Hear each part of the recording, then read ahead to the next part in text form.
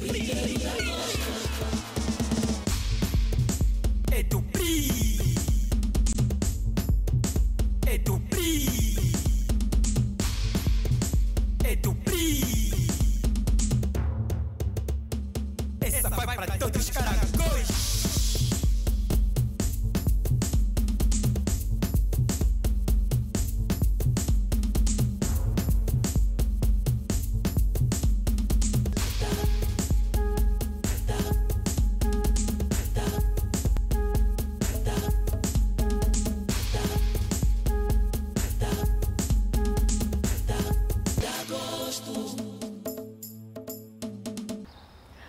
Bem-vindo ao seu magazine 1 de agosto na TV. Estamos de volta e sempre disponíveis para lhe servir da melhor informação do nosso clube de coração. Com 13 modalidades que o clube tem, descobrir os talentos não é uma tarefa difícil. Então fizemos questão de acompanhar o mini basket na descoberta de um talento nesta modalidade. Apostar na formação faz parte das principais prioridades da direção do 1 de agosto. Por isso, foram criadas as condições para a boa prática e aprendizagem do basquetebol. Diariamente, aqui no pavilhão Jean Jacques, mais de 50 crianças aprendem o ABC da modalidade, com orientação de duas grandes figuras do basquetebol angolano e africano, Afonso Silva e o conhecido general Miguel Lutonda, que na ocasião contaram-nos como tem sido a experiência de trabalhar com estes pequenos e futuros craques do basquetebol. Eh, como é que tem sido normalmente essa tarefa de ensinar os mais novos? Uh, bem, uh, é uma tarefa que nós, os treinadores, temos que cumprir. Uh, não é fácil, mas temos que estar aqui todos os dias para ensinar o beabá do basquetebol aos mais novos. E como ontem fui criança, também aprendi de, de muitos bons treinadores e nesta fase estou aqui para passar tudo aquilo que eu aprendi ao longo de 25 anos de carreira. É prazerosa porque eh, nós queremos o produto final. O produto final qual é? É termos um menino a jogar um dia a séniores a alto nível. Mas para isso eh, temos que nós, treinadores, procurar diariamente ensinar o menino como é que eh, é a fase inicial do basquetebol, como é que tem o comportamento dentro né, e fora do, do clube, que é importante sermos, sermos bons meninos no futuro, temos que ter uma boa conduta a nível social. Vamos fazer um breve intervalo, não saia daí, porque o próximo bloco promete surpresas.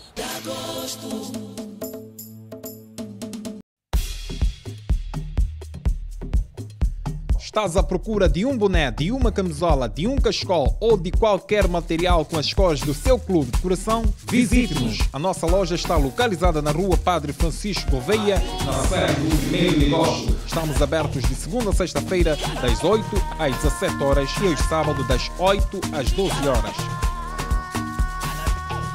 Caso para dizer que dá gosto ser de dá gosto.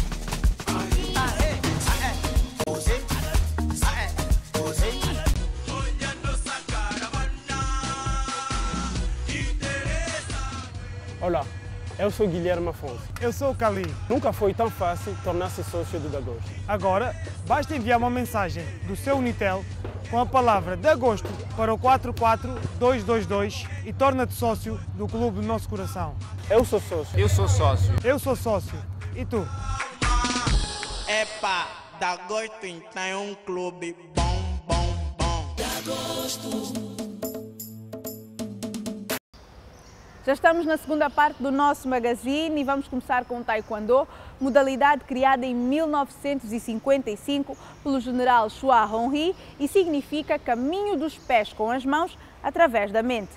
E nós vamos saber mais desta modalidade aqui, no 1 de agosto na TV. A formação no 1 de agosto não se limita ao futebol. Também o taekwondo tem formado estrelas. As crianças começam a praticar desde a mais tenra idade, 8 anos, aprendendo teorias e práticas básicas da modalidade. O coordenador do Taekwondo, mestre Luís Vunge, adiantou que esta modalidade é praticada no 1 de agosto desde março de 1997. No 1 de agosto, a modalidade Taekwondo está desde 17 de março de 1997. É quando iniciamos a representar a bandeira do clube eh, até a presente data. O mestre realçou algumas etapas do taekwondo e suas metodologias. Bom, nós temos uh, metodologia primeiro. Nós primeiro iniciamos com uh, aulas teóricas, hum? saber como entrar dentro do dojo, saber como saudar o seu superior ou o treinador. Uh, depois ali vai aprendendo o que é dizer. Primeiro passo, vai saber o que é o primeiro passo, que é o Apsuki vai aprendendo outras metodologias, que é saber sentar, é um outro método também, sentar, como se levanta, como deve é, saudar, é, como deve é, manter dentro do dojo, não é? A posição que deve ficar quando tem o cinturão, quando não tem cinturão. É, então, eles têm que aprender esses métodos todos. O pequeno Isaías já tem os seus ídolos. O mestre Catujão e o mestre Garcia. Na Kenny e Evanice deixaram uma mensagem às outras crianças. Eu quero que as outras crianças não tenham preguiça, saiam do sofá, venham aqui treinar taekwondo. Enquanto o voleibol está a preparar-se para a Taça de Angola, o handball já passou pela prova de fogo e os nossos bravos rapazes demonstraram garra e atitude, levando a melhor do game. O 1 de agosto jogou a campeão e conquistou a sétima edição da Taça de Angola em handball masculino. A formação rubro-negra entrou para este desafio determinado a encerrar em grande a presente temporada desportiva. Ao intervalo já se encontrava em vantagem de dois golos, ou seja, 13-11 fruto de um maior esclarecimento na finalização e eficácia defensiva. Na segunda parte, a equipa manteve o ritmo e criou a maior diferença de golos na partida, 19-11. Os polícias ainda tentaram remar contra a maré, mas o 1 de agosto não se deixou intimidar perante o vencedor das últimas três edições e confirmou o triunfo por 25-20, conquistando o terceiro troféu do seu historial e fazendo a dobradinha depois de já ter garantido o título nacional em Benguela. É, de princípio, dar os parabéns à equipa do Inter por ter dado uma boa réplica. Ganhou a defesa, a defesa ganha campeonatos. Era uma final, temos que ganhar e ganhamos, estamos de parabéns. Quem ganhou mais foi o futebol masculino, que teve um grande jogo. Há muito não se vê um jogo dessa qualidade. Em femininos, a sorte mais uma vez bafejou as rivais, que levaram ao troféu ao vencerem por 33-29.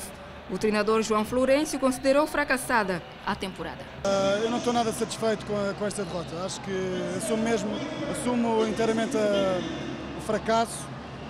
Uh, nós vimos, vimos sempre para ganhar, construímos a época para ganhar todas as competições.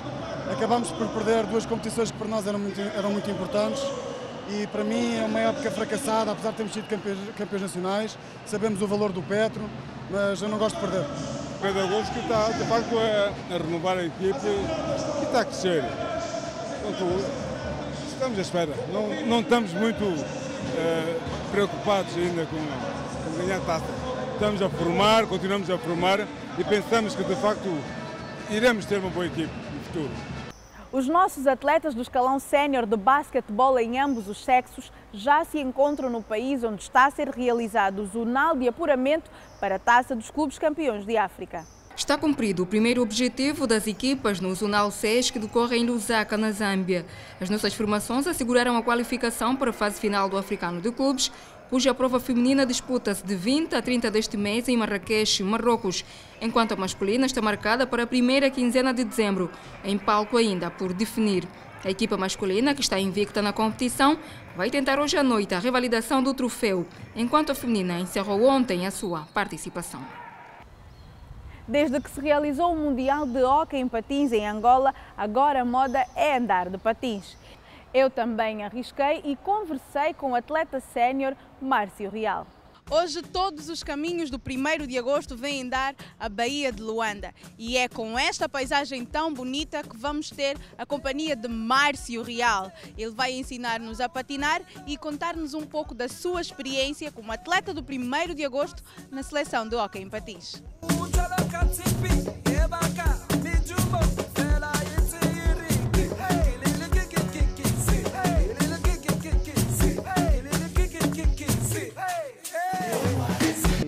Já desde os 18 anos a participar na seleção, a fazer parte da seleção e é uma responsabilidade tanto, é um privilégio, no, visto que qualquer jogador de hockey, qualquer desportista, o, mais, o ponto mais alto que pretende alcançar é jogar pela seleção e jogar em campeonatos do mundo. E isso para mim é, é a melhor coisa que já passou em mim.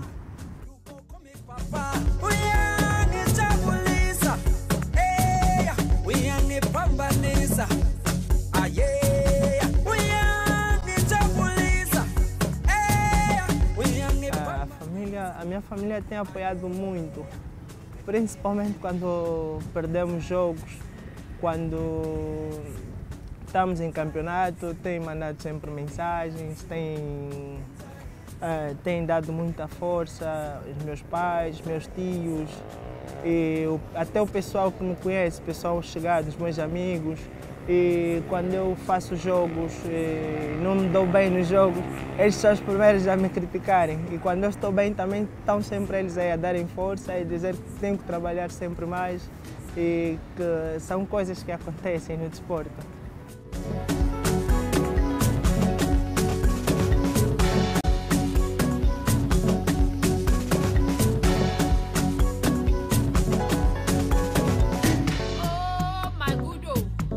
Tive muitos títulos, já tive muitos títulos nos escalões de juvenis, júnior, uns títulos também, na qual já fui melhor jogador várias vezes em vários campeonatos. E escalão sênior não tive ainda nenhum título nacional, mas já tive títulos, eh, taças de Angola, já duas taças de Angola ganhas. E já tive várias super taças ganhas também. E já participei em inúmeros campeonatos internacionais, tanto pela seleção e pelo clube.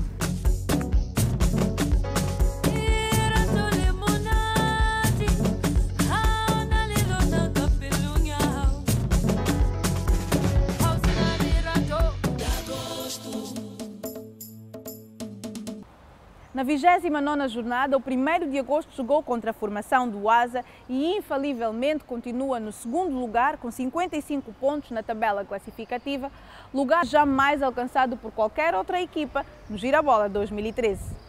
A nossa equipa principal de futebol defrontou na 29ª jornada do Campeonato Nacional o Atlético Sport Aviação Asa e perdeu por três bolas a uma. O golo da nossa equipa foi apontado mais uma vez pelo miúdo de 17 anos e camisola número 35, Jacinto Mondo Dala ou simplesmente Gelson, completando deste jeito o seu segundo golo no girabola. No final do encontro, o técnico falou à imprensa.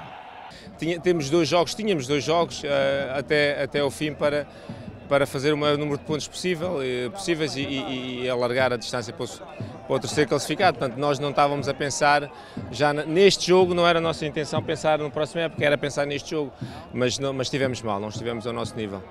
Hoje, o 1 de agosto, vai realizar a sua última partida do campeonato de 2013 diante da equipa da polícia e o treinador da UTO, Fakirá, já tem uma ideia sobre o jogo de mais logo. Não, o espírito é positivo, a equipa trabalhou bem durante a semana, nós queremos acabar em beleza, não é? Quando nós fizemos a pontuação, quando nós ganhamos o último jogo aqui em casa, queríamos, eu tive a oportunidade de dizer, queríamos também somar vitórias em todos os jogos que, viessem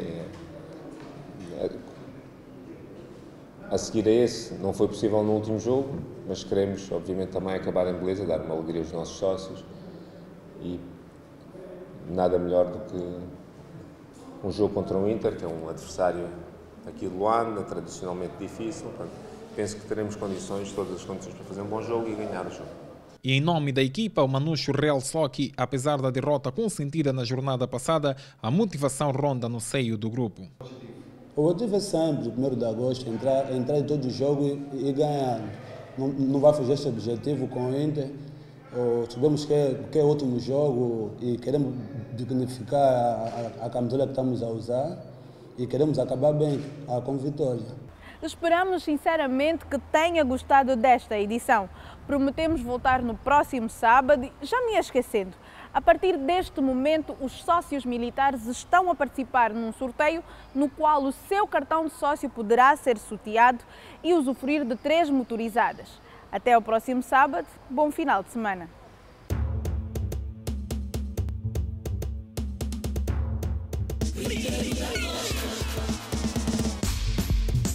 É do PRI.